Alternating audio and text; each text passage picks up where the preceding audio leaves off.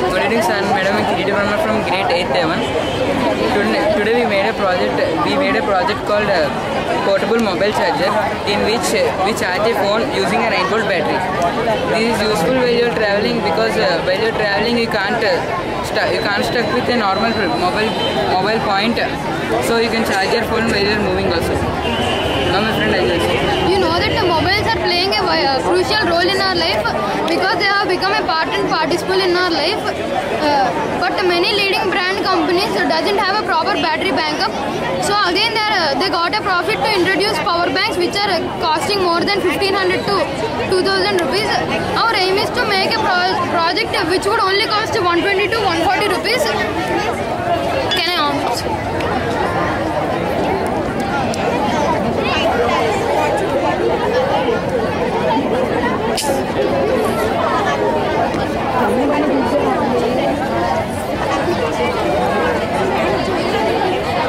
Now my friend uh, Guru is going to continue. We need a 7805 IC, a resistor, and LED and a PCB. The 7805 IC is, is the 7805 IC is of uh, 78XX series. This is this has three pins: input, ground, and output. This is to regulate the regulate the electricity, and this resistor ensures that the current should not flow high voltage and low voltage. This LED glows when this LED glows when the phone is charging. And this PCB is used to make the circuit stand. Now I'm going to say how we made the project. We made the project uh, by first attaching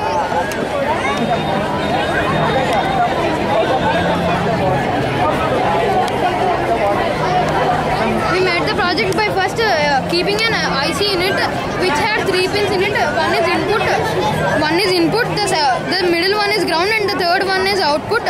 The input of the IC must be connected to the one end of the resistor and the positive terminal of the LED must be connected to the resistor and the negative terminal must be connected to the ground of the IC and the remaining connections left should be connected to the battery cap and the uh, charging pin.